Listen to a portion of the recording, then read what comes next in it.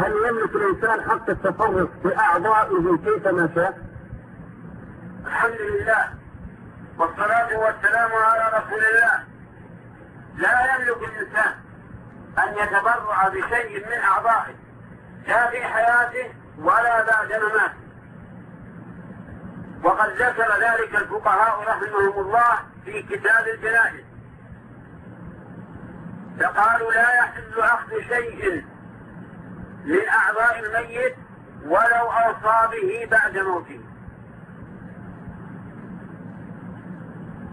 طيب. فسبحان الله كيف يقول الله عز وجل ولا تقتلوا أنفسكم وكيف يقول وإن كنتم مرضى أو على سفر أو جاء أحد منكم من الغائط ولمس النساء فلم تجدوا ماء فتيمموا فيسقط واجب الطهارة من غسل ووضوء من أجل المرض. لئلا يزداد المرض أو يتأخر بؤه كل هذا حفاظا على النفس وعلى الجسد. فلا يحل لأحد الله عليك أن يتبرع بكلية ولا ب... برئة ولا بعين ولا بشيء أبدا من أعضائه لا حيا ولا ميتا. وليس لورثة الحق الإذن بشيء من ذلك. لأن ورثته لم يملكهم الله عز وجل إلا أمواله فقط. لم لم يملكهم جثته يتبرعون بما شاءوا منها. لكن ألا يدخل في قول الله تعالى ومن أحياها فكأنما أحيا الناس جميعا؟ لا ما يدخل. لا يدخل بهذا أحسن الله عليك يعني من أحياها نعم. يعني معناه من دافع عن شخص يريد أن يقتله شخص آخر. فدافع عنه. هذا المعنى. أحسن الله عليك لكن هذا أيضا الأعضاء كم من أعضاء زرعت ولم تفلح. إذا ما ترون التبرع بالأعضاء بعد الممات؟ نرى أنه حرام وأن الذي يعلم من الورقة قد تعدى حده. والله عز وجل لم يملكه إلا المال. يوصيكم الله في أولادكم للذكر مثل حظ الأنثيين طيب فضيلة الشيخ هل العقل في القلب أم في الدماغ؟ ومعي جراح القلب المشهور العربية السعودية الدكتور خالد الجبيري ولعله يخالفك في الرأي. كيف تحكم على المخالفة وأنت لم تسمع كلامي؟ أنا أعرف أنك تقول بأن القلب بأن العقل في القلب نعم من أين عرفت ذلك؟ قرأنا وحضرنا محاضراتك احسن الله عليك طيب هل أنا الذي قلت أو رب العالمين الخالق هو الذي قاله؟ قال الله في سورة الحج أفلم يسيروا في الأرض فتكون لهم قلوب يعقلون بها إنها لا تعمى الأبصار ولكن تعمى القلوب التي في الصدور. الدكتور خالد لديه بعض المناقشة إن سمحت إن سمحت وأنا ما ما أقبل أي أي مناقشة فيما يخالف ظاهر كلام رب العالمين الذي خلق خلق كل شيء. لكن هل القلب المقصود هنا هو القلب الذي ينبض و أليس الله قال تعمى القلوب القلوب التي في الصدور؟ صريح وواضح. لكن كيف يكون اتصاله في الدماغ وكيف إذا اختل الدماغ اختل التفكير؟ هذا شيء عند الله عز وجل ما ندري. كما أننا نعلم أن النفس ما دامت في الجسد فهو حي وإذا خرجت منه فهو ميت. ولا ندري ما هذه الروح. ولا ندري كيف تدخل في الجسد بعد بعد الاستيقاظ من النوم. ولا ندري كيف كيف تخرج عند الموت إلا بما جاء في الكتاب والسنة.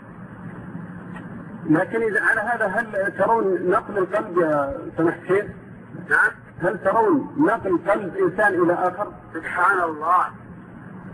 قلت لك قبل قليل ما ما نرى جواز نقل الكلية. كيف القلب؟ والقلب الصناعي شيخ؟ القلب الصناعي ما ما في بأس يصنعون لن يخلقوا ذبابا ولو اجتمعوا له يعني هل تتغير الاحاسيس لو وضع له قلب صناعي؟ لا يدري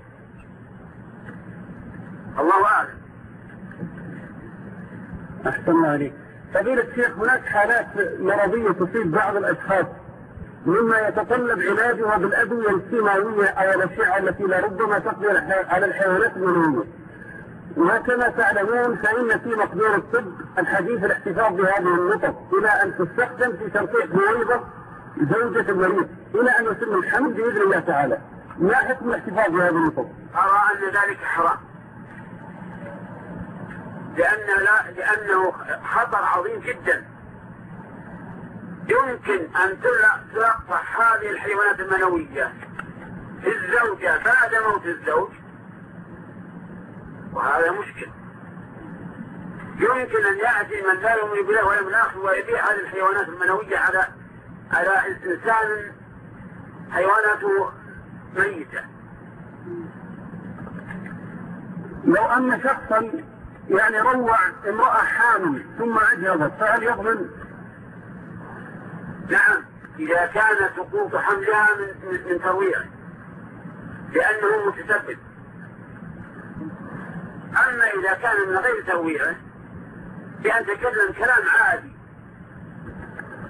ثم أثرت فهذا يكون هو عنه وتحتاج المسألة القضية إذا وقعت تحتاج إلى نظر وتأمل في كلام أهل العلم. أحسن الله إليكم ونفعنا بعلمكم. آمين. نودعكم يا سماحة الشيخ على أمل اللقاء بكم إن شاء الله تعالى في حلقات قادمة المهم بارك الله فيك تفضل المهم تحديد الموعد وأيضا كذلك المشكلة الوقت يا شيخنا نعاني من الوقت فأنتم يعني أعطيتمونا من بعد الساعة الواحدة وبرنامجنا يبدأ من بعد الساعة الثانية عشر والنصف إلى إلى واحدة ونصف طيب ما يخالف ناخذ من واحدة وربع إلى إلى إلى إلى, إلى واحدة ونصف حقيقة يعني بودنا نستفيد منكم بوقت أطول. أنت الآن ما استفدت الآن أنا مستعد لك إلى إلى واحد ونص.